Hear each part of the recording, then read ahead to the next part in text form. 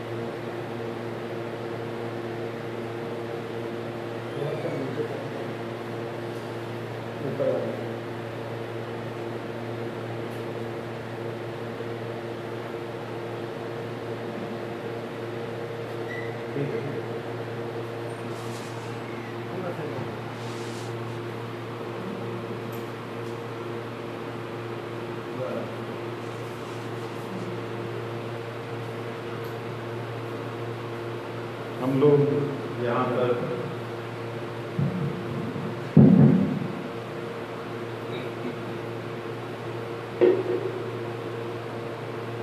प्रणाम मंत्रों के बारे में श्रवण कर रहे हैं। मुझे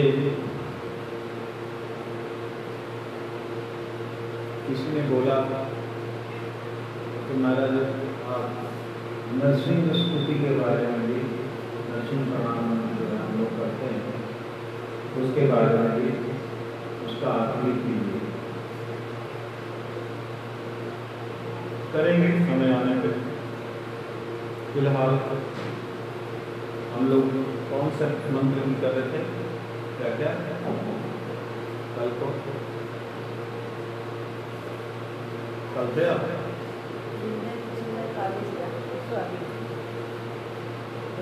जी का कर रहे थे। तुलसी देवी के बाद में वापस नहीं आए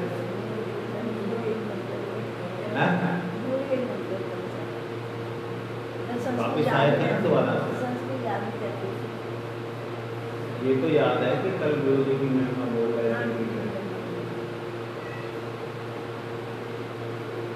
गुरु जी के प्रणाम मंत्र के भीतर एक विशेषता है कि गुरु जी को गुरु अभिमान तो है नहीं कि मैं गुरु हूँ ऐसा गुरुदेव को कभी भी मन में नहीं आया जिसके कारण से गुरु महाराज जी ने कभी अपनी प्रशंसा नहीं सुनी है। जब हम लोग ये वाला जो मंत्र इस रूप में है, लेके गए थे तो गुरु जी नाराज़ से ऐसे नाराज़ होते हैं ऐसे होकर के गुरु जी, "हाँ, हाँ, हाँ।" मेरे पास में लेके आए ऐसे भाव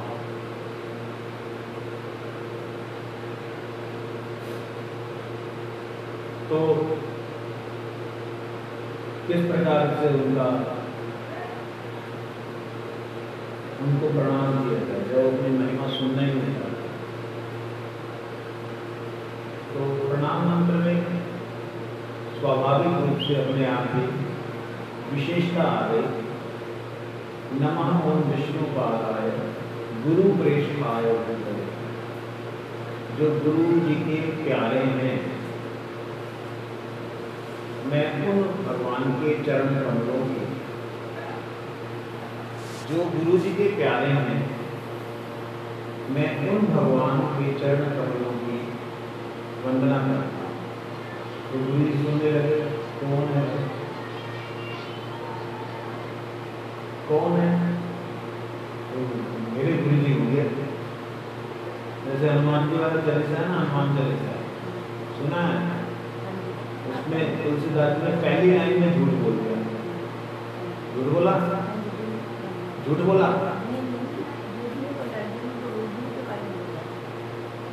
क्या है?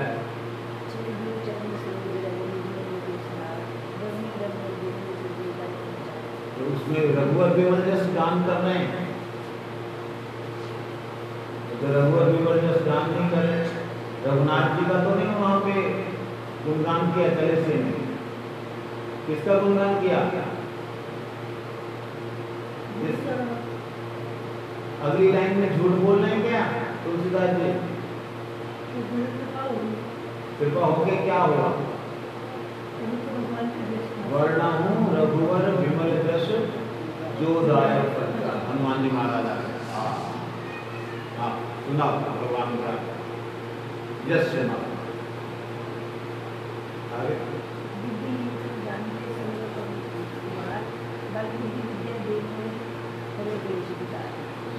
उन्होंने बोला बुद्धिहीन तन जान के सूर्य को भगवान कहते तुम तो भगवान राम का गुण गाने लगे अभी मेरे बारे में नहीं पड़ा संकुचित हो बल बुद्धि विद्या दे मैं हरम करे स्वीकार आगे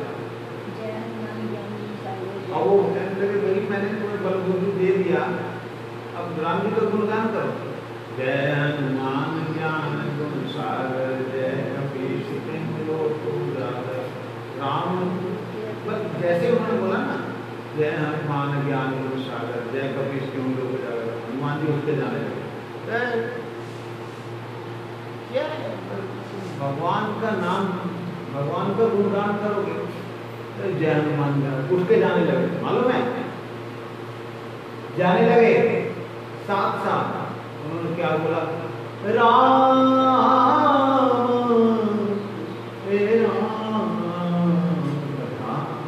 रुक गए। बैठ गए फिर अच्छा राम जी का नाम लिया। राम जी का गुणगान गाएँगे। राम दूत। अपने आप को राम सुन करके हनुमान जी प्रसन्न हो अतुलित बल अंजनी पुत्र पवन संतुष्ट हो राम दूत मैया का नाम महावीर विक्रम बजरंगी। कुमति निवार सुमति के संगी कंचन वरण विराज सुवेश। कानन कुंडल कुंचित केश। हाथ वज्र ध्वजा विराजे। कांधे हनुमान कहते मेरे बारे में बोल रहे शंकर सुवन केसरी नंदन तेज प्रताप महाजगवंदन विद्यमान विद्यावान, गुणियति चातुर। फिर तो उनको हनुमान जी को तिल मिलाहट होगी, मैं नहीं अब उठता। मैं जा रहा हूँ। उठ के जाने लगे। फिर आगे क्या? राम राम राम राम राम राम वो बैठ गए राम जी का नाम आया हनुमान जी जा नहीं सकते बंधन में पड़ जाते हैं हनुमान राम काज करिए को आगे को अब मग्न हो गए प्रभु हनुमान जी महाराज नाचने लगे प्रभु चरित्र सुनने को राम लखन सीता मन हनुमान जी महाराज तो जैसे बस पूरी कृपा ही उठा दी आगे फिर जब फिर द्वारा वर्णन करने लगे, सूक्ष्म रूप धरी दिखावा जैसे सुना साथ साथ मन में सिया जी के प्रति मातृभाव जागृत हो गया। मैं छोटा सा बच्चा मेरे के सिर के नाक रखा उन्होंने साथ साथ उसमें डूब गए। सूक्ष्म रूप धरी सिया दिखावा रूप धरी तम रूप धरी असुर फिर कहते, मेरा चालू कर दिया तुमने। राम राम राम चंद्र जी के साज जैसे राम बोलते रुक जाते, जैसे गुणगान करने लगते, चल देते। ऐसे हैं हनुमान जी महाराज, हमारे गुरु जी बिल्कुल ऐसे ही। जैसे उनकी प्रशंसा कोई करने लगे देखो हमारा नहीं है हमारा गुरु जी का वो साथ साथ उनका ध्यान रख रहा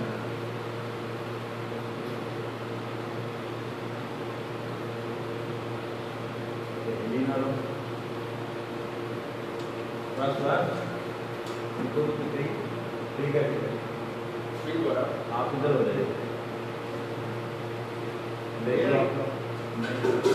आ रही है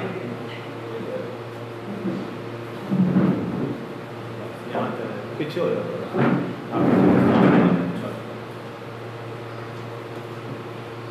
तो इसी तरह हमारे गुरु महाराज ने अति संकोची स्वभाव अपनी प्रशंसा कभी उन्होंने सुनी ही नहीं। प्रतिष्ठा को तो सूर्य की विष्ठा के समान समझते थे।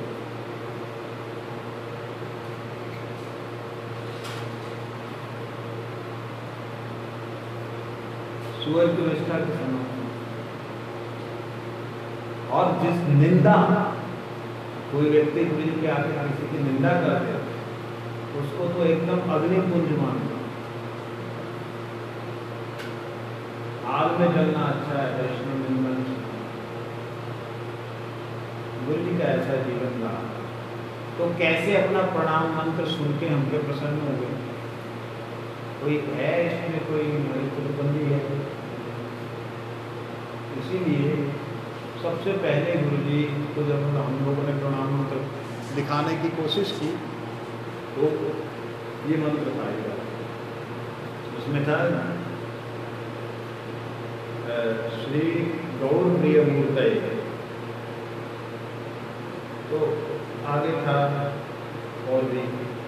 तो गुरु जी ने एक लाइन बोली थी इसमें हमारे गुरु जी का संबंध नहीं है। तब इसमें ये वाली लाइन को ऐड किया, भक्ति गई माधव अभिन्न तनु नाम्य। ये वाली लाइन को ऐड किया। तो गुरु जी अपने आप को उनसे अभिन्न तनु मानते नहीं। कि मैं उनसे अभिन्न मतलब एक ही हूँ मैं और वो ऐसा कभी मानते नहीं। हमेशा अपने आप को दासन मानते रखा तो उस भाव को लेकर के नमः विष्णु पादाय गुरु प्रेष्ठाय भूतले गुरु प्रेष्ठाय गुरुदेव के प्रिय जो है, भगवान के चरण कमल जो कि गुरु जी के प्रिय है। भगवान के चरण कमल जो कि गुरु जी के प्रिय हैं, ऐसे करते हुए गुरु स्वयं महात्मा प्रणाम करता अब इसके दो अर्थ है। एक अर्थ है कि जो चरण कमल विष्णु भगवान के, गुरु जी को प्रिय है। और इसका दूसरा अर्थ है, जो चरण कमल परम गुरु जी को प्रिय है, वो भक्ति जगत की गुरु स्वामी महाराज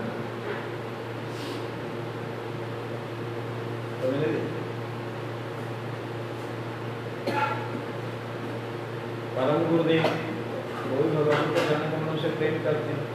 तो मेरे गुरुदेव, परम ठाकुर जी के चरण कमल हैं, लेकिन वो परम गुरु जी के प्रिय भी हैं।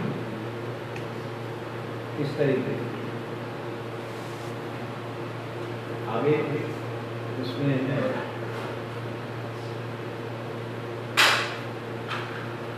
जी गुरु अभिमान शून्याय गुरुवाणी प्रसारे गुरु अभिमान गुरु को अभिमान में ये हम लोग ने चिंतन कर लिया और गुरुदेव के जीवन के बारे में मुझे नहीं लगता है कि कोई व्यक्ति बोल सकता है। कोई भी बोल कारण ये अपने ही बारे में अगर कोई व्यक्ति लिखे, एक एक पल की घटना तो बड़े बड़े ग्रंथ बन जाएँगे कि क्या मन में विचार आया, क्या तन में क्रिया हुआ अगर कोई लिखने लगे तो बड़े बड़े किताबें बन जाएँगी, ग्रंथ बन जाएँगे। तो गुरुदेव गुरुदेव के बारे में क्या लिखते उनके जीवन में कैसी कैसी क्या क्या लीलाएँ क्या घटनाएँ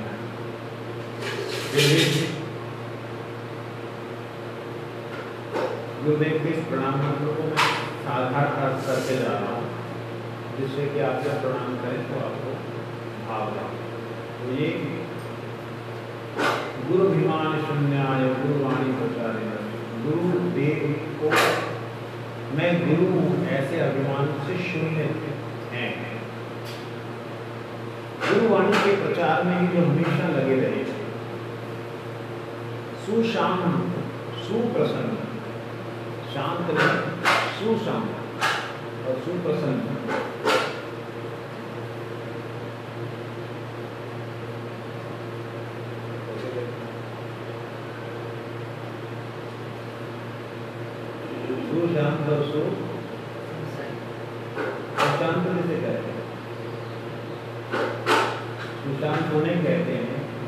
जो सब समय में ही शांत रहे। कुछ भी हो शांत शांत शांत और स्थिर में अंतर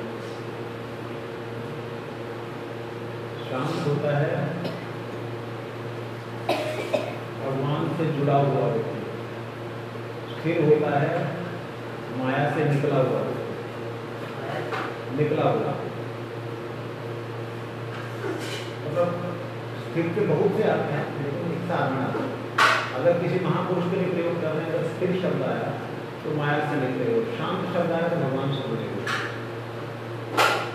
स्थिर कौन होते हैं? जिन्होंने अपने बात में मनोवेद क्रोध में विभ्रवे मुदर उपस्थित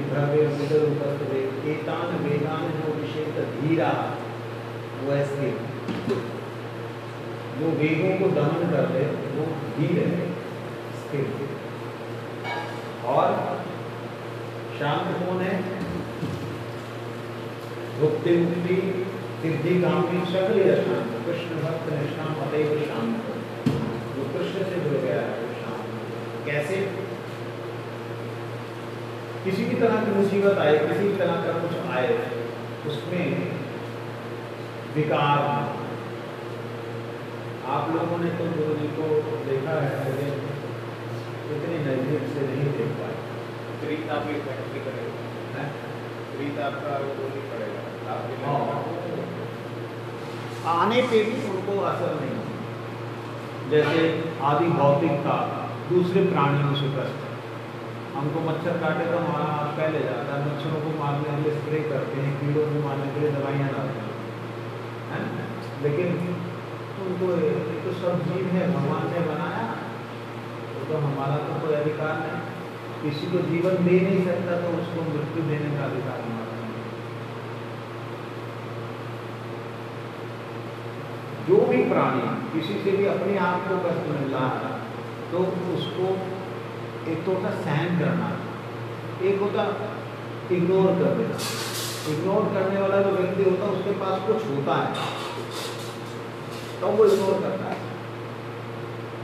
सहन करने वाला व्यक्ति जो है, उसको आता है फील होता है, लेकिन सहन करता इग्नोर करने वाला व्यक्ति वैसा ही समझो कि वो एसी के अंदर बैठा हुआ है, बाहर आग लगी हुई है, जल रही है मतलब टेम्परेचर ज़्यादा है। और सहन करने वाला व्यक्ति बाहर बैठा हुआ कूलर में सहन कर रहा समझे? ये सहन करना और इग्नोर करना। जो शांत होता है, वो इग्नोर कर देता है। त्रिताप आने पे भी उसको इग्नोर का हिंदी क्या होता है?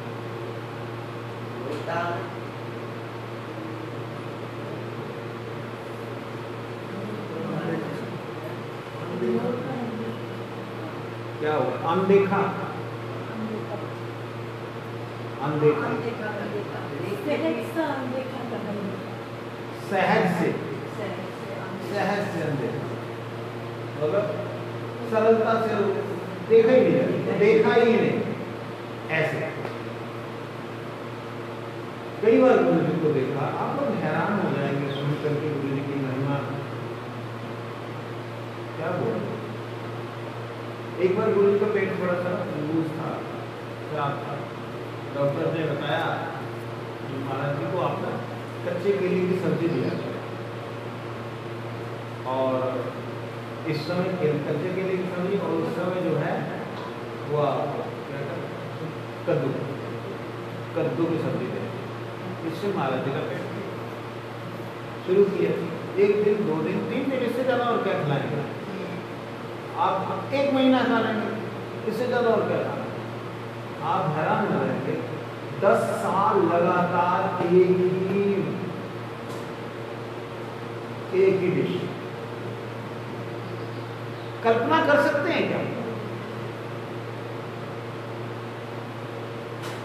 इसीलिए बोलता था मैं, गुरु जी की शरण में। ये इनको मैं बहुत समझाया। इधर उधर भटक गई। और बाद में गुरु जी ने जाने से एक दिन पहले सपना दिया। रोने लगे, मैं आपसे मिलने लगी गुरु जी ने बोला, मेरी माला जो है उसके पास है, जाके ले फिर माला इसीलिए बोलता, मैं सच बता रहा हूँ व्यास आसन पे बैठा हूँ। झूठ नहीं कह रहा। मेरी बात को सुनने वाले यहाँ पे इंटरनेट पे भी हैं। सच कह रहा हूँ। कि जब मैं तुम लोगों को बोलता था कि उनके पास जाओ, तुम्हारा कल्याण निश्चित हो।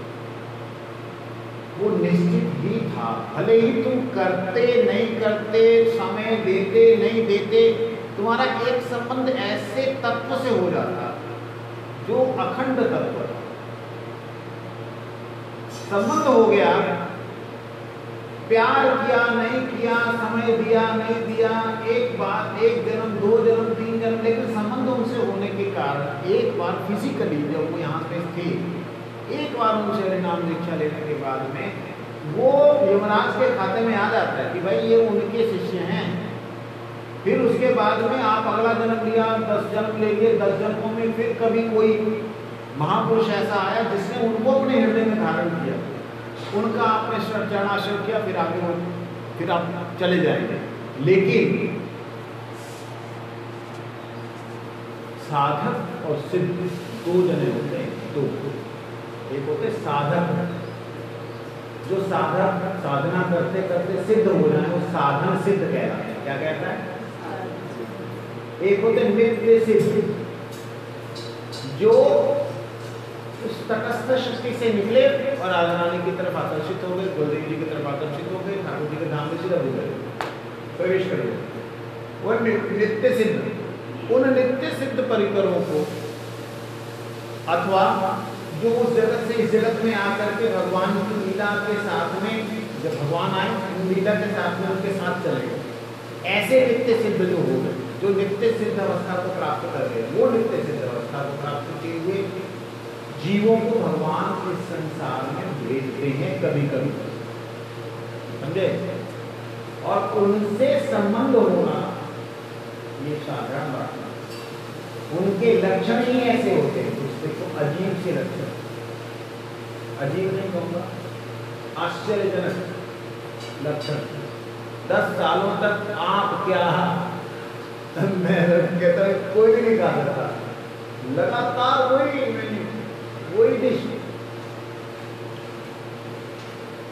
और दस सालों बाद कुछ ऐसी ठाकुर जी ने लीला रची। जब सब कुछ थोड़ा पलटी मारा तो डॉक्टर ने पूछा, महाराज जी का मैंने खाने का क्या है? तो जो बनाने वाले थे तुम्हारे ये है ये। कहते, और? कहते, और तो डॉक्टर मना किया। कहते, किस डॉक्टर ने मना किया? उसको गुस्सा आ गया। वो डॉक्टर परिताप भुगत जी दूसरा किस डॉक्टर ने मना किया? फलाने डॉक्टर ने मना किया। कहते उसको फ़ोन करो ये बढ़ा गए। कहते, नहीं कब मना किया। कहते उसको गोली कहते थे पेट खराब था कहते मुझको अगर पेट खराब था तो एक दिन, दो दिन, तीन दिन। उसके बाद तो आप दूसरी चीज़ दे सकते थे। प्रभु, कहना आसान है, शांत शब्द। शांत शब्द की सीमा जो है गुरुदेव के पास जाके मेरे को लगता दोनों पड़ जाता है। होना जाना छोटी पड़ जाती शांत हो। ऐसा मच्छर खा रहा है यहाँ पे गुरुदेव मैं देख रहा हूँ गुरुदेव के मस्तक को। गुरु जी मेरी आँखों में आके डाल कर देख रहे हैं। मैं नहीं देख रहा हूँ उनकी आँखों में मस्तक को देख रहा हूँ। एक मिनट हो गया। लोग जो प्रसाद लेने वाले थे लेके चले गए तो मैं बैठा हूँ, मैं देख रहा हूँ। बोली करते क्या हुआ। मैं उठा, उठ करके मच्छर को हिलाया। मच्छर इतना पीली थी उसने। वो हिले वो रही इतना नज़र आ गया उसको। मच्छर मक्खी बन गया, इतना मोटा हो गया। मैंने फटाक करके मार दिया उसको। इतना दुख हुआ, इतना कष्ट हुआ ना। आपको, मैं उस कष्ट को बयान कर सकता चेहरा एकदम ऐसा, जैसे रंग पेड़ हो जाता। है ये तो ठीक नहीं किया। मैंने कहा, महाराज जी, ब्राह्मण हूँ ब्रह्मचारी हूँ। आपके सामने हमारा कल्याण कर दिया उसका। मैंने तो हंस के बोल दिया। लेकिन कहते ठीक नहीं गुरु कहते वो तो जानता नहीं, उसका भोजन ही ये है। हम मच्छरदानी में रहने सहनशीलता की हालत होती है मैं तो बोल देता हूँ, क्योंकि मैंने गुरु जी को देखा गुरु जी को कष्ट सहन करते हुए मैंने देखा, और जिसके कारण शरीर का बहुत ज़्यादा मतलब नुकसान हुआ मैं कहूँगा ऐसा। हालाँकि उनका दिव्य शरीर था, फिर भी। शरीर को कष्ट हुआ, नुकसान हुआ। गुरु महाराज जी प्रचार में है पंजाब और जम्मू में। कल्पना कीजिए, एक दिन में छह प्रोग्राम एक दिन में हम तीन प्रोग्राम में वो भी आधा आधा घंटा, पूरा पूरा घंटा बैठते हैं एक एक घंटा। तीन प्रोग्राम में हमारे को समय नहीं मिलता, है? और उनको छह प्रोग्राम कैसे? महाराज जी, वो उनके गुरु भाई थे। वो ऑर्गेनाइज करते थे। महाराज, कल सवेरे आठ बजे ना फलाने को जाना है। डर तैयार। वो तो पहले तैयार अच्छा तब कर्मचारी को प्रणामी नहीं मिलती थी इंडिविजुअल नहीं मिलती थी अलग से प्रणाम लेकिन तब एक अलग आनंद था अच्छे समय पे आया था चले गए वहाँ पे उन्होंने जाकर के थोड़ा सा तो किया। नरसिंह मंत्र किया, महामंत्र किया। अब नरसिंह मंत्र महामंत्र करेंगे तो सारे लोग ये हमारे का अरे नरसिंह मंत्र का अब मेरी किसी को मना नहीं कर सकते। तो सवेरे निकलते, बारह बजे लगभग आना होता था। बारह नहीं, बजते थे एक ही बज जाता डेढ़ बज जाता वापिस आने के लिए और फिर शाम को फिर प्रोग्राम। उस दिन था नगर कीर्तन, तीन बजे शाम को। फिर रात की सभा। और गुरु जी लोगों के घर में जा रहे मेरे को थोड़ा सा दिमाग खराब हुआ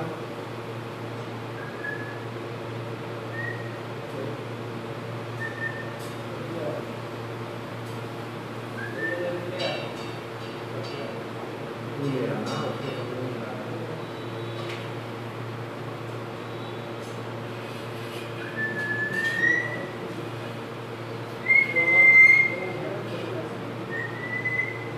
ले आ रहा हूँ बे।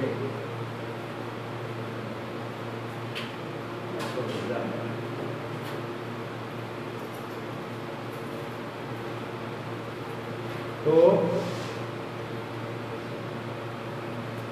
लगभग साढ़े दस बज रहे थे। और मेरे को तो खुद को जो बैठे बैठे नींद आ रही थी मैंने कहा जब मेरी हालत है गुरु जी का क्या हाल है? मैं तो बच्चा सारे गुरुवर्ग थे वहाँ पे। मतलब गुरुवर्ग मतलब हमारा कोई गुरु भाई नहीं ना उनमें। सारे चाचे गुरु उनमें मैं गुरु जी का चेला त्यागियों में। विष्णु महाराज जी थे। कहीं एडवांस पार्टी में थे, शायद राजपुरा में आना तो मैं गुरुदेव के शिष्यों में से मैं था। और शायद अमरेंद्र प्रभु भी थे। अमरेंद्र प्रभु थे मैं था और थी। भजन उन्मुखी महाराज हम तीन थे पंजाबियों में मतलब बहुत बोलने वाले थे। मैं ना थोड़ी देर बाद मैंने कहा वो कहते महाराज जी अभी ना यहाँ से हम जाएँगे वो फलानी जो है आपकी चेंज शिष्य है उसके यहाँ जाना है। गुरु जी को गुरु भाई बोले मैं गुरु जी को कहीं नहीं जाएँगे। गुरु जी जाएँगे आश्रम में। वो कहते "ओए, तो मैं बड़ा छोटा था। मेरी उम्र होगी ज़्यादा से ज़्यादा मेरे ख्याल सोलह साल की होगी। सोलह सत्रह साल की होगी इससे ज़्यादा! तो मैं क्या बोल रहा जाना गुरु जी ने। गुरु जी आश्रम वो किधर का जाना? पूरी महाराज विष्णुचंद महाराज, नरसिंह महाराज, सारे बड़े बड़े महाराज मतलब ये छोटा सा बच्चा इतनी मेरे को गालियाँ पड़ी गुरु जी के सामने ना, मैं आपको बता नहीं सकता मैंने गुरु जी के आँखों में देखा तो गुरु जी ने मेरे को ऐसे किया। आँख बंद कर दी जैसे मैं आँख में आँख डाली गुरु ने ऐसे किया मैंने कहा यस है मैं खड़ा हो गया मैंने कहा गुरु जी जो है वापस जाएँगे उनको खराब लगा या कि गुरु वर्ग है मेरे पिताजी से ज़्यादा उम्र के थे वो भाग्य हाँ हंसराज भाग्य तू मीज में थे ना हाँ दे रहे।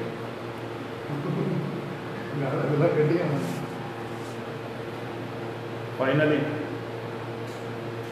उसका प्रभाव ये हुआ कि गुरु जी को और एक्स्ट्रा घरों में नहीं जाना पड़ा। उस घर के बाद तुरंत इसका कुछ पता नहीं वहाँ बीच से क्या आएगा और जब वापस आ गए, वहाँ पर मेरा ख्याल आखिरी दिन था, नगर कीर्तन था। हाँ शाम को नगर कीर्तन। मैंने ये बोला भी मैं शाम को नगर कीर्तन है, फिर तबीयत खराब हो गई वो फिर, हैं, फिर भी तब चलेगा। मतलब पागल हो गया। प्रोग्राम में मीटिंग हुई थी इन सबकी बड़े बड़े थे महापुरुष और कहने लगे कि, ये भगवान दास कुमार से निकाले क्यों कहते, देखो, इतनी बदनामी करा दी इसने। हंसराज जी को बोल दिया, हंसराज जी मतलब गुरु जी के गुरु भाई भी सीनियर गुरु भाई। मतलब पुराने उनको बोल दिया देखो ऐसा बड़े मान को का है सब गुरु जी के कमरे में पहुँच गए। तब विष्णु महाराज वहाँ कर्मचारी थे चंद्रशेखर वो भी कमरे में थे। और जाकर के बोले, इसको निकाल दिया मैं नहीं हूँ। मेरे को नहीं, अपनी मीटिंग कर गुरु जी कहते, क्या हुआ? कहते, क्या हुआ? वहाँ देखा नहीं कितनी अच्छी तरह इसने चंचल है, फलाना है, ठिकाना है। तो सब चंचल चंचल बोले थे गुरु नहीं होगा वो चंचल नहीं है। वो व्यवहार करना नहीं जानता है। जिस दिन उसको व्यवहार आना आएगा, देखना वो क्या है। ये गुरु जी ने एक लाइन बोली और बोल सुनते ही विष्णु महाराज ने आकर मेरे को सुनाई थी ऐसे गुरु जी ने तेरे बारे में बोला। मैं मेरा तो फिर भी जाएगा मेरे तो प्राण प्राण आ गए। बस वो मेरे लिए एक सूत्र था। ध्यान देना। कैसा कैसा टाइट शेड्यूल और ऐसा नहीं कि पैसे के लिए जा रहे हैं, कि कुछ सेवा मिल रही हो कोई कोई दस रुपये दे रहा है, कोई बीस रुपये दे रहा है मतलब कोई ऐसा भी नहीं है कि मठ बन रहा है, वो बिल्डिंग उनसे खड़ी हो रही हो, कि चलो कष्ट सहन करके भी ठाकुर जी के मंदिर बन रहा है, ऐसा नहीं कुछ नहीं। गुरुदेव का जीवन अद्भुत रहा। सहनशीलता की एक सीमा होती है, उस सीमा जाकर के वहाँ पे शांत हो जाती है इसलिए सुशांत और सुप्रसन्नता अब देखो, ठाकुर जी के विग्रह को अगर कोई खंडित कर दे तो क्या आपके मन में आएगा? यही आएगा ना, खत्म कर दो इनको, जिन्होंने किया। यही तो होगा। केस हो गया एफ़ आई आर दर्ज हो गई, गोकुल महावन के जो विग्रह हैं, उनको खंडित कर दिया था। एफ़ आई आर हो गई गुरु कहते एफ़ आई आर हटाओ। क्यों हटाओ? कहते ब्रजवासी के ऊपर शासन करने का हमारा कोई अधिकार नहीं। ब्रजवासी के ऊपर शासन करने का क्या भाव है, कहाँ पे है? कल्पना अतीत है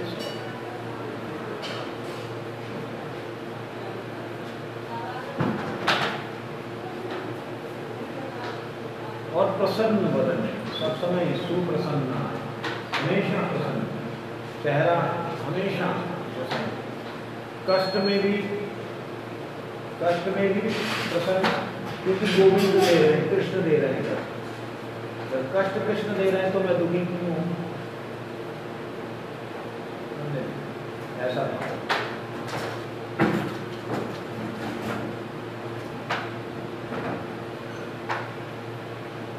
जीवेश कोटि मातृवत सुस्निग्ध हृदय मतलब जीवों के प्रति करोड़ों माताओं का स्नेह। कैसा स्नेह? सुस्निग्ध स्नेह। स्निग्ध शब्द का मतलब होता है मुलायम। कैसा मुलायम? कैसा? बताया माखन की उसे स्निग्ध माखन होता है? स्निग्ध ऐसा स्निग्ध भाव सब जीवों के प्रति ने आपको अच्छा तो उदाहरण बताया है ना? ऐसे गुरु महाराज जी का सबसे प्रिय अगर गुरु जी को मठ में कुछ था तो एक ही वस्तु थी, गुरु जी की लिखी हुई डायरी फोर्टी एट से गुरु जी ने डायरी लिखना शुरू किया। उसमें अपने गुरु जी की बातों को लिखा था, कहाँ क्या बोला, किससे मिले, क्या मिले, सब कुछ लिखा हुआ उन डायरियों के अलावा गुरु जी की कोई भी संपत्ति नहीं थी। गुरु जी का कोई अकाउंट नहीं था। गुरु जी का बैंक अकाउंट कोई भी नहीं था। तो इस प्रकार से गुरु महाराज जी का वो संपत्ति को चूहों ने काटना शुरू किया। तो आप कल्पना करें कितना गुस्सा आएगा। गुरु जी दुखी हुए, बहुत दुखी हुए। हमारा सर्वनाश कर दिया। क्या हो गया यही सब देखो, ये सब काट के जाता है। तो हमारा सर्वनाश कर मतलब गुरु जी को ये हो कि मेरा जो कुछ मेरी संपत्ति को नाश कर रहे तो महाराज जी क्या करें? अब जहर डाल देंगे नहीं तो चूहा पकड़ने वाला जो होता है ना हो जाता है। वो ले आया। उसके अंदर रोटी रख दिया जो पकड़ा जाता है। है तो बदमाशी करता है चलो तुमको पनिशमेंट चलो उसको बात करते उससे उससे बात करते हैं वो भी ऐसे ऐसे देखता है है? अरे छोड़ेगा नहीं यहाँ नहीं छोड़ेगा फिर सेवक को बुलाएँगे देखो वही आ गया बदमाश को पकड़ा गया वो भी बोलेंगे इसको ले जाओ सड़क पे मत छोड़ना। जब भी वो पकड़ा, कोई पकड़ा जाता नया, ये गुरु का वो पेट था सड़क पे नहीं छोड़ना। तो देखना, जंगल में छोड़ देना, वहाँ पे कुछ खाने को मिल जाएगा मतलब बगीचे वगैरह में छोड़ दो, तीन, चार पकड़े गए। एक दिन क्या हुआ गुरु जी को सवेरे सवेरे आवाज़ आई चू चू चू चू की। गुरु जी ने देखा क्या हुआ? वो चूहा एक फंसा है वो तड़प रहा था। जी कहा, क्या हुआ? वो पीछे मुड़ करके दिखा रहा है कि मेरी पूंछ जो है फंसी हुई है। ओ जी को दिखा दिया तो गुरु जी ने सेवक को बोला "आज- सेवक आया। उसको खोला। को, अभी खोलो। उसको खोल दिया भाग गया। गुरु ने कहा आप यहाँ पे कोई पिंजरा नहीं रखना पिंजरे ही डाल दिया। कहते हमारा वो वो जो होगा होगा, वो लोग को कष्ट नहीं होगा। कैसा स्निग्ध हृदय माँ भी ना, गलती करो तो थप्पड़ मार देती है। मारती हो ना, पता है सारी सभी ऐसी एक जैसी। मारो, थप्पड़ मार देती है लेकिन गुरु जी को देखा गुरु जी अपने को पीटते थे अगर हम लोगों ने कोई ऐसी गलती की जो गलती गुरु जी के कानों में गई तो गुरु जी ऐसे करते आया क्या कर दिया माता पिता को किसने छोड़ा? अपने आप को टेबल पे मारना हाथ पे मारना ऐसे करके गुरु अपने आप के ऊपर डायरेक्ट ऐ तुम ऐसा किया ठीक नहीं किया। शायद मेरा कलेक्टर गुप्ता गुरु ने कभी किसी को बोला बोला हो। लेकिन ऐसे डायरेक्ट नहीं बोलते ऐसा हृदय था, ऐसा हृदय है गुरु जी का सूक्ष्म कि कहीं मेरे डायरेक्ट बोलने से ये भाग ना। अगर ये भाग गया तो फिर आग में जाके गिरेगा और कष्ट। ये भाग एक बार हमारे एक गुरु भाई जो हैं मठ में आए तो उसके माता पिता उनको लेने के लिए आए माता पिता ने बोला महाराज इसको बोलो, घर चले। गुरु जी कहते हम तो बोला नहीं आने के लिए। हम तो उसको बुलाया नहीं आने के लिए। वो धीरे आया है, उसको हम कैसे बोले? कि जाओ, आग में जाकर कूदो। ना, जाओ, आग में जाकर कूदो। जाओ, आग में जाकर कूदो जलो हम कैसे बोले बाद में खैर वो रहा नहीं, चला गया। लेकिन ऐसा बोले लो कि कहीं मेरे बोलने से क्योंकि गुरु जी ने एक बार जब ब्रह्मचारी थे तब कोई ब्रह्मचारी ने गुस्से में आकर के दूसरे ब्रह्मचारी के ऊपर अटैक कर दिया था खूना खान खून हो गया। मरा तो नहीं था खून कपड़ सिर से पड़ गया। तो गुरु जी ने कहा कि भाई, अगर ये रहेगा तो तो मुश्किल है, किसी को भी काट पाएगा पता ही नहीं। तो गुरु जी ने उसके लिए परम गुरु जी को बोला। गुरु जी क्यों शासन नहीं करते थे, उसके पीछे का रहस्य है। गुरु जी ने उसके लिए परम गुरु जी को बोला कि महाराज जी, इसको रहने से मुश्किल है। परम गुरु जी कहा, इतना जन्मों के बाद कोई भी भगवान का शरण में आया, उसमें दोष रह सकते हैं। लेकिन उसको बोलना कि तुम संसार में चले जाओ, तुम योग्य नहीं हो ऐसे करके गुरु जी ने एक बार समझा दिया गुरु जी समझ गए।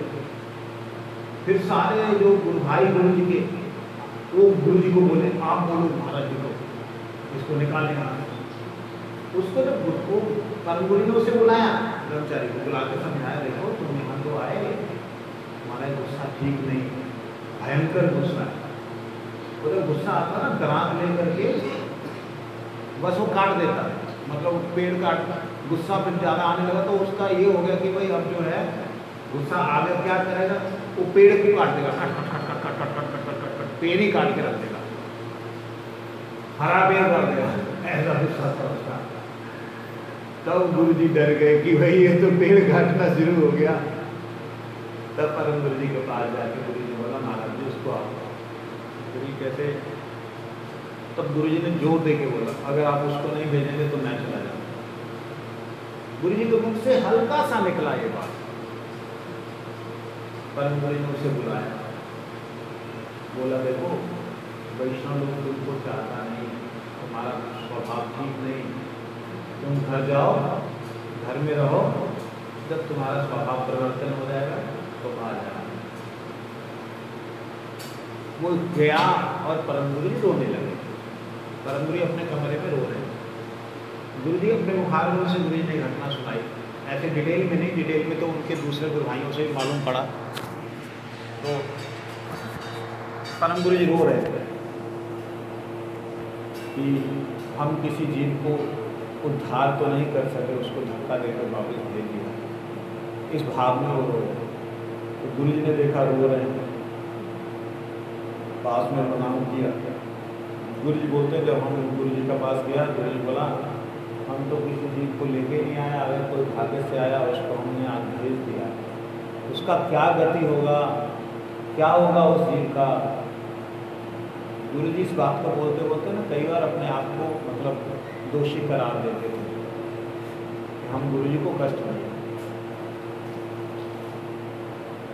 उसके बाद से गुरु जी ने मतलब कभी भी किसी भी व्यक्ति की शिकायत सुनी नहीं पहली बार और ना डायरेक्टली किसी को बोला।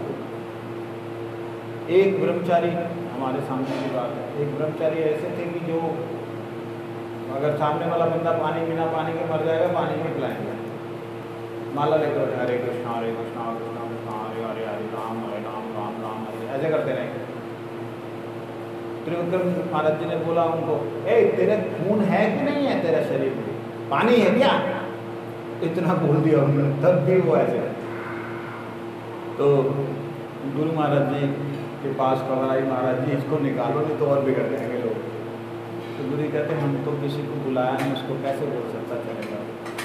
बहुत ज़्यादा लोगों ने जब बोला, तब गुरु जी ने उसे बुलाया और बुला के बोला, देखो, तुम तो जहाँ जाते हो, वहाँ पे तो सब लोग एडजस्ट नहीं करते सेवा नहीं करने से तो मुश्किल है।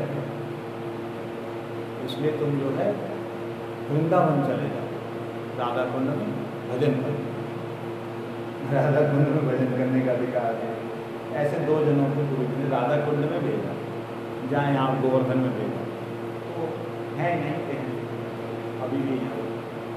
जो इस प्रकार से गुरु महाराज जी का देखा, सभी जीवों के प्रति उनका बड़ा विशेष प्रेम, ऐसा जैसे माताओं का प्रेम। वंशा